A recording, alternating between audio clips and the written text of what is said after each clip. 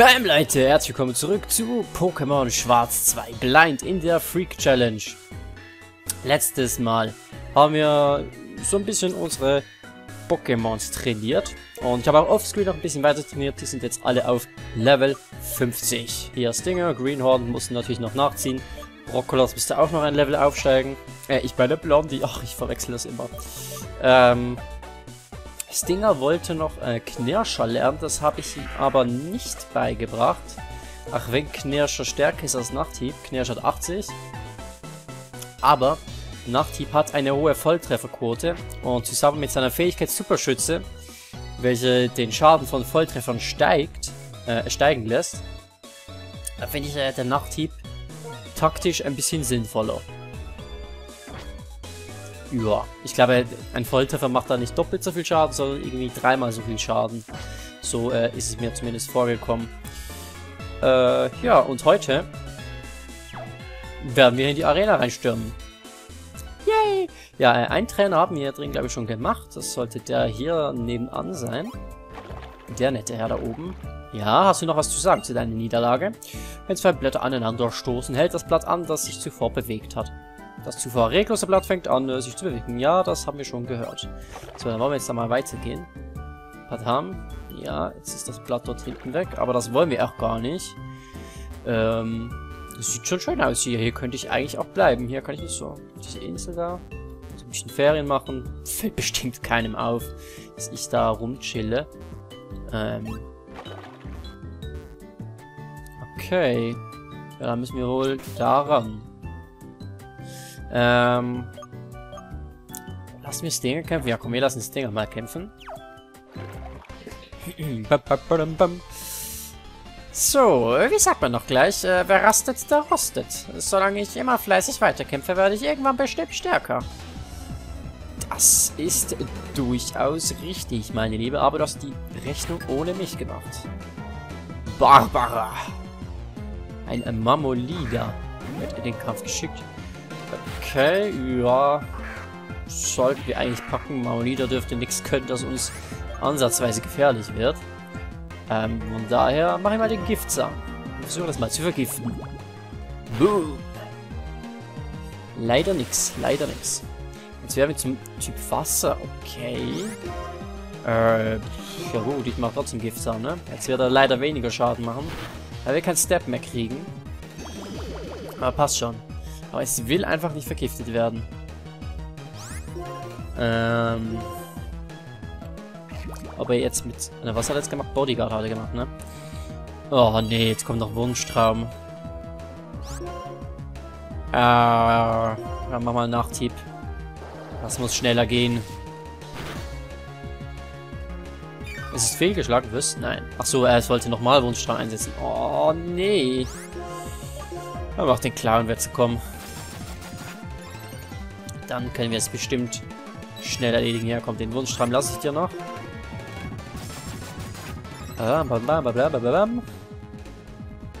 Nochmal Wunschtraum. Es heilt sich einfach die ganze Zeit. Ja, komm, machen wir eigentlich noch ein bisschen weit hier, klaren Witze. Stört ja keinen. Stört doch keinen.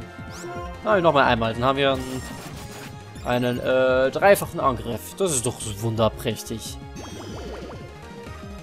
So, jetzt machen wir einen Volltreffer, dann haben wir den sechsfachen Schaden. Na, das klingt doch gut. Wenn er nicht den sechsfachen, den neunfachen Schaden. Aber oh, ist leider kein... Oh. Hm. Vor allem reicht das nicht, oder? Das ist ganz knapp nicht die Hälfte. Natürlich. Aber jetzt wäre es erledigen. Es zieht sich unheimlich, dieser Kampf. Tja, komm, nochmal. Pam und tschüss. Alter. Nur weil ich verloren habe, lasse ich mich nicht gleich unterkriegen. Das ist mir sowas von egal. Schätzchen. Erzähl das jemandem anderen. Was ist hier? Achso, da komme ich ja wieder zurück. Ja, das ist doch praktisch. Lass mich mal hier durch. Äh, okay, ein Brückchen. Schön. Okay. Da haben wir einen Trainer, der möchte ich eigentlich gerne mitnehmen. da ist ein Zerosula. Das können wir aber in zwei Richtungen verschieben. Frage ist, wollen wir das da nach rechts verschieben? Ja, wenn wir nicht gegen den Trainer kämpfen wollen, dann schon. Aber ich will gegen ihn kämpfen. Also komm. Erstmal nach unten. Dann hier nach rechts. Dann dürfte das da dagegen klatschen. Pam. Und dann können wir dich herausfordern. Hallöchen, du nimmst die extra Zeit, um gegen mich zu kämpfen? Das freut mich. Dann äh, lege ich mich ganz besonders ins Zeug, damit du auf deine Kosten kommst. Das ist äußerst nett von dir. Aber ich würde es begrüßen, wenn du einfach schnell sterben würdest, denn... Ja, das würde mir doch ein bisschen besser gefallen. Wallraiser. Fett, fett auf jeden Fall, wortwörtlich. Ähm... Ja, Stinger. Kannst du was dagegen ausrichten? Das ist ein fettes Vieh. Also Vergiftung wäre hammer nice, ne? Ich meine ja nur auch so. Ne, will er nicht, will er nicht. Okay, Angeberei. Na, wenn das mal kein Fehler war von dir, Wallraiser. Ähm, ich könnte jetzt nämlich einfach wie hier, äh, ich habe nur eine Persenbeere, ja, egal, komm. Ich gebe jetzt hier eine Persenbeere, zack, zack. Dann ist die Verwirrung weg.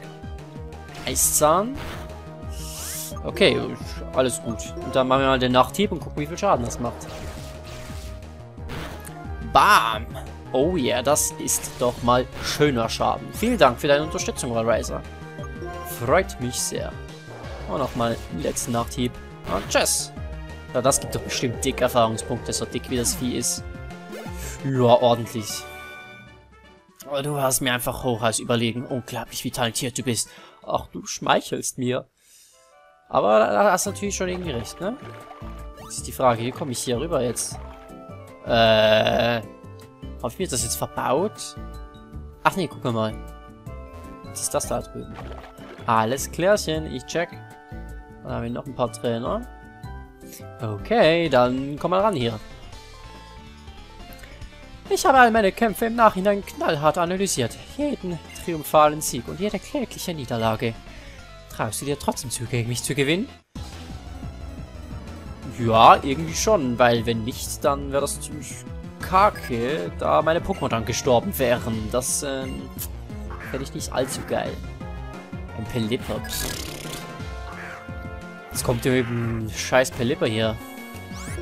Ich hasse die Viecher. Die sind einfach so grottenhässlich. Und nerven nur. Machen wir jetzt von Anfang an den klaren Wetzer. Blablabla. Und er hortet. Okay. Machen wir den Giftzahn. Horter finde ich jetzt auch nicht gerade so geil. Aber er ist vergiftet. Nice. Schwer vergiftet. Dann kannst du dich von mir aus äh, dumm und dämlich horten. Das Gift äh, wird dir trotzdem Schaden machen. Dann mache ich jetzt äh, mal einen kleinen nochmal. Schön in aller Ruhe. Babam, bam, babam, bam. Jetzt kommt der Verzehrer, ja, der bringt jetzt auch nicht mehr viel. Weil das Gift hier immer mehr Schaden macht. Äh, da können wir eigentlich noch weiter wetzen, weil es kommt ja noch ein Pokémon nachher, das können wir dann one-hitten. Das ist bestimmt auch ganz praktisch und er hortet vor allem, ja, das kann er gerne machen. So, noch einmal Kleinwetze mache ich, dann habe ich drauf. Dann ist mir alles wurscht. Fessler, ja. Uh, das hat aber nicht schlecht Schaden gemacht. Muss ich zugeben. Aber du hast keine Chance, mein liebes Pelipper. Nice, nice. So, dann kommt jetzt ein Weilord. Ja, machen wir definitiv weiter. Ob wir einen, Weil einen Weilord one-hitten können? Ah, mal gucken. Ich bin gespannt. Oh, diese KP. Aber ja, wir haben es gewonnen-hittet. Nice. Noch so ein dickes Ding. Und wir erreichen Level 51. Wonder Bear. Jetzt muss ich erstmal auf meinen Pokémon setzen und darüber nachdenken, wie es zu dieser Blamhasche kommen konnte. Ich glaube, ich habe den ersten Nebensatz nicht richtig vorgelesen. Aber egal, der klang irgendwie komisch. Ähm, nein, nicht Schaufler. Das mache ich immer. So. Ich drücke immer auf Schaufler, wenn ich das tauschen möchte. Okay, wir könnten dann nach oben, was uns absolut nichts bringt. Dann gehen wir wohl da nach links. Plopp, plopp, plopp, plopp, plopp. Okay, ähm...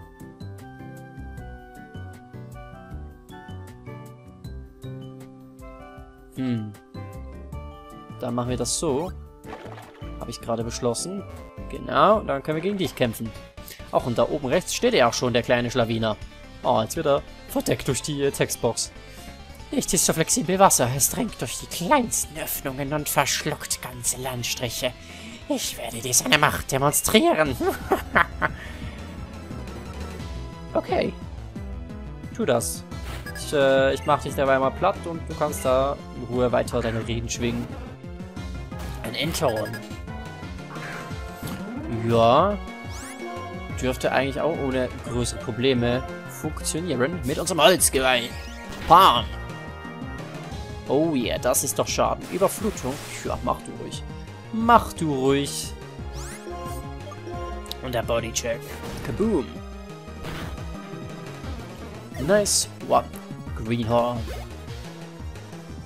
Dann kommt jetzt noch ein Starmie, das kannst du auch machen. Ist kein Problem für dich. Dann machen wir wieder das Holzgeweih. Starmie ist ja schneller. Starmie ist bekanntlich relativ schnell.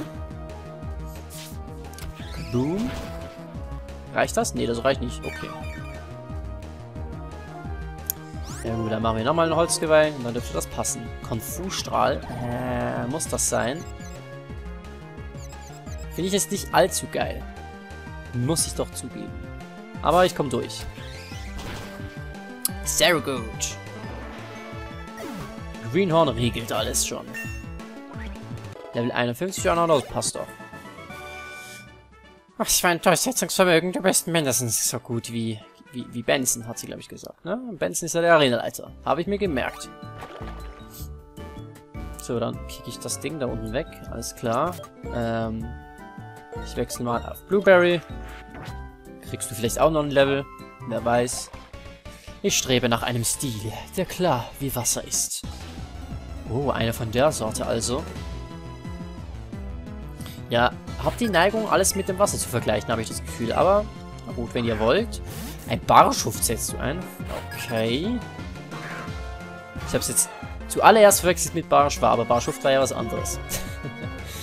ähm, Schlemm es einfach weg, würde ich sagen. Das sah ziemlich äh, gefährlich aus, was der gerade gemacht hat. Aber gut. Ja, das ist doch ordentlicher Schaden. Gefällt mir dann noch ein Surfer. Boom. Risikotackle sieht echt heftig aus, vor allem wenn es noch ein Volltreffer wird. Aber das hat es natürlich nicht ausgehalten. Und tatsächlich Level 51. Wunderbar. Wunderbar, wunderbar. Der Surfer ist fehlgeschlagen. Oh mein Gott. Oh, jetzt kommt noch ein Barschuft. Äh, Blondie. Wie setzen wir jetzt Blondie ein? Einfach, weil wir es können. Vielleicht kriegt Blondie auch noch ein Level up. weil gewonnen-hitted können wir nicht werden. Wegen unserer Fähigkeit. Robustheit. Aber wir werden es mit Steinkante definitiv one-hitten. Und Risikotackle, ja, das macht sowieso total übelst monster viel Schaden. Ah, tschüss. War nett mit dir. Blondie hat einfach so einen riesigen Angriff, das ist einfach unglaublich. Ein Azumarill. Ja, gut, das ist ein bisschen ein anderes Kaliber. Aber Azumarill greift vielleicht physisch an. Kann ich mir sehr gut vorstellen. Daher lasse ich äh, Blondie mal drin, ne? Da, ah, Hydropumpe. Gut, das war's mit Blondie. Ah, und auch nicht. Wow. Okay, ja gut. Azuma hat ja nicht die geil, den geilsten Spezialangriff. Wow. Guck mal, Blondie. Nice, du hast einfach so eine Hydropumpe weggesteckt. Krass. Hätte ich nicht gedacht. Dann haben alle noch Level 51 erreicht. Sehr schön. Und kriegen noch ein bisschen Geld. Allen das Geld aus der Tasche ziehen. So gefällt mir das. So ganz nebenbei wüsste ich jetzt gar nicht, wie ich da überhaupt rüberkomme. Ach so, doch, ich, wüs ich weiß wie. Na, so. Einfach nur mal so testhalber ausprobieren. Und dann, genau. Aber ich möchte ehrlich gesagt nochmal heilen gehen. Kann ich da einfach... Ja, da kann ich ganz durch segeln. Das ist doch schön.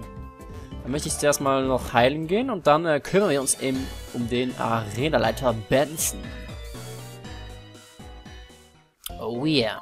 Mal gucken, was der so auf dem Kasten hat. Ich hoffe nicht allzu viel. er hat ja Wasser-Pokémon. Ähm, da ist ja Greenhorn und äh, Blueberry sind da ganz gut dabei, denke ich. Und äh, ja, Stinger kann definitiv auch eine Menge ausrichten. Er wird auf jeden Fall interessant. Ach, kann ich jetzt hier direkt wieder weitergehen? Oh, das ist ja nett. Das finde ich nett. Wurde es gar nicht zurückgesetzt. Ähm, so, dann aber dringend noch kurz wechseln. Ähm, ich denke, mit Greenhorn können wir nichts falsch machen. Also la lassen wir es mal bei Greenhorn. Puh, und dann, schöne Aussichtstaste hier übrigens. Ja? Können wir mal so ein bisschen zusammen angeln gehen nach dem Kampf. Und äh, andere Dinge. E e egal. Hallo. Oh, da bist du ja schon. Du siehst sehr stark aus. Na gut, fangen wir sofort an. Versus Benson.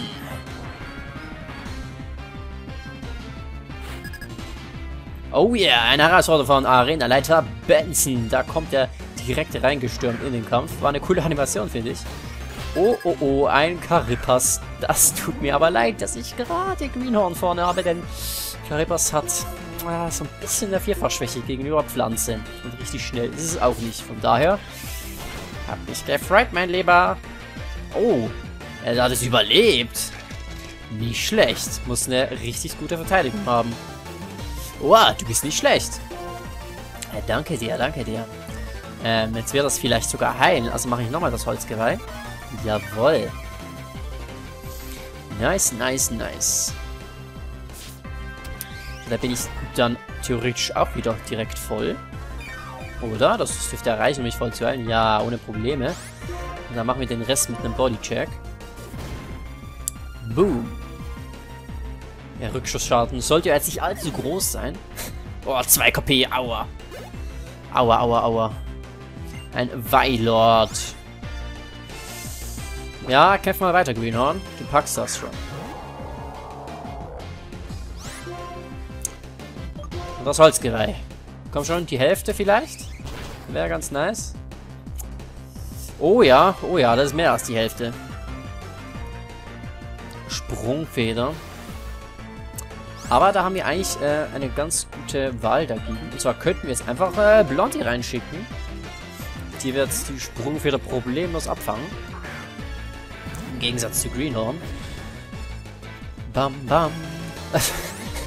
ja, es wäre sogar die Attacke komplett ab. Ja gut, das kann man natürlich auch machen. Steinkante! Steinkante sollte eigentlich auch fliegende Gegner treffen, aber ich habe das Gefühl, ich habe noch nie mit Steinkante einen fliegenden Gegner getroffen. Aber es sollte doch eigentlich auch fliegende Gegner treffen, beziehungsweise springende Gegner. Ähm. Na gut, ich werde die Attacke schon wieder ab. Nice. Läuft bei dir, Blondie. Ja, schlussendlich hat er mir gar keinen einzigen KP-Schaden gemacht. Alles klar. Ein Apokalyp. Okay, Wasser, Geist. Wissen wir jetzt. Da können wir den Stinger locker flockig einsetzen. Mit seinem Nachthieb. Werde hoffentlich einiges reißen.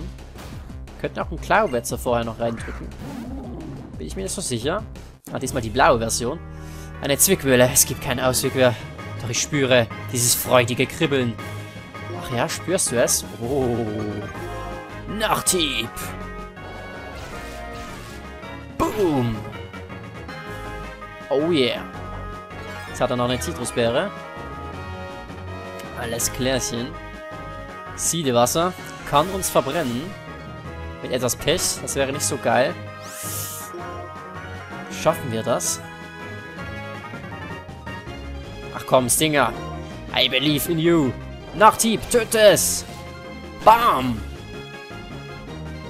Oh yeah, das hat gereicht. Apokalypse wurde besiegt. Aber wir besiegen Betzen. Ich bin beeindruckt. Ein feines Pokémon-Team hast du da aufgezogen. Respekt, Trainer. Ja, vielen Dank. Du siehst nicht nur sehr stark aus. Nein, du bist es auch. Ich wäre vor Schreck fast umgefallen. Aber jetzt weiter im Programm. Du hast mich so aus der Bahn geworfen, dass ich beinahe vergessen hätte, dir das hier zu überreichen. Ba ba ba badam, ba bam. Ich habe keine Ahnung, wie der Ordner heißt. Aber wir haben ihn. Katsching. Erhält den Wellenorden. Das ist der Wellenorden. Diesen Orden gibt es erst seit kurzem in der Einlandregion. Ist er nicht hübsch? Na doch, kann man, kann man sich durchaus angucken. Jetzt, wo du alle acht Orden hast, gehorchen dir auch alle Pokémon. Ach stimmt, die haben ja alle Orden jetzt. Das ging ja fix. Alter. Jetzt bekommst du noch eine TM von mir. Das ist Item Siedewasser. Oh yeah. Ermöglicht es dir, Gegner Verbrennungen zuzufügen. Und wenn eins deiner Pokémon eingefroren ist, kannst du es mit ihr wieder auftauen. So, jetzt gehe... Äh, ich gehe jetzt eine Runde schwimmen. Folge mir, wenn du kannst. Äh... Okay. Nö, kann ich nicht. Aber cool, wer da so wegschwimmt. äh, ja gut. Der hat auf jeden Fall Spaß in seiner Arena. Kann wir direkt ins Meer springen.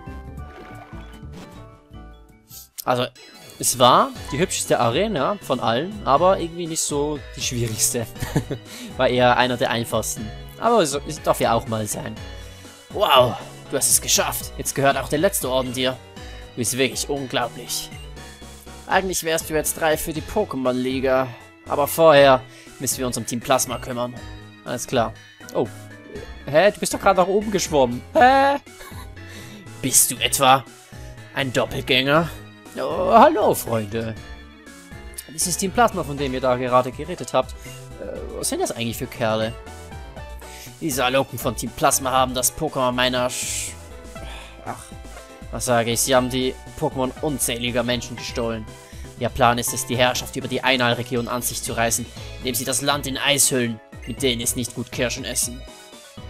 Hast du wirklich noch nie von ihnen gehört, Benson? Also das höre ich zum ersten Mal. Hm. Das Meer ist mein Zuhause. Solche Dinge interessieren mich normalerweise nicht. Aber ich bin immer offen für Neues. Genau wie, die, wie der weite Ozean, der das Wasser aller Flüsse mit offenen Armen empfängt. Das hast du aber schön gesagt. Ihr denkt also, dass Team Plasma von Grund auf böse ist, richtig? Ähm... Ja, einige schon, aber einige auch nicht, wie man gesehen hat. Die sind ja äh, einige haben, haben ja gecheckt, dass das nicht so ganz richtig ist und sie haben sich jetzt gegen Team Plasma gestellt. Haben wir schon ein paar davon getroffen. Äh, aber das aktuelle Team Plasma, ähm, denke ich schon, dass das von Grund auf böse ist. Verstehe. Deshalb kämpft ihr also gegen diese Leute. Ich rate euch, euren Zorn in Worte zu fassen. Zuerst mal nur für euch selbst. Dann werdet ihr besser verstehen, was ihr eigentlich erreichen wollt. So, Genug geredet. Ja, tschö. Ist dieser Kerl nur naiv oder scheut er sich vor Verantwortung? Aber so leicht lasse ich mich nicht entmutigen. Nicht, solange Team Plasma da draußen noch sein Unwesen treibt. Nehmen wir unseren Mut zusammen. Lass uns zuerst herausfinden, wo sich Team Plasma herumtreibt. Ja, das hört sich nach einem Plan an. Am besten teilen wir uns auf. Nimm du dir Route 22 vor. Alles Klärchen. Okay, Route 22. Dann gucken wir gleich mal, wo das ist. Hm. Meine Nase läuft mal wieder. Ist das nicht schön? Karte. Ist das hier oben? Ah, tatsächlich. Okay, dann äh, gehen wir in diesem Fall, in der nächsten Folge, wieder zur Route 22 zurück, wo wir einst mal trainiert haben. Und gucken, ob sich Team Plasma da irgendwo herumtreibt. Und dann heilen wir uns noch ein bisschen. Oder würde ich sagen, das war's für diesen Part von Pokémon Schwarz 2 in der Freak Challenge. Ähm, ich hole noch kurz äh, Stauler wieder mit ins Team, damit er uns herumchauffieren kann. oh, voll der Sklaventreiber bin ich eigentlich.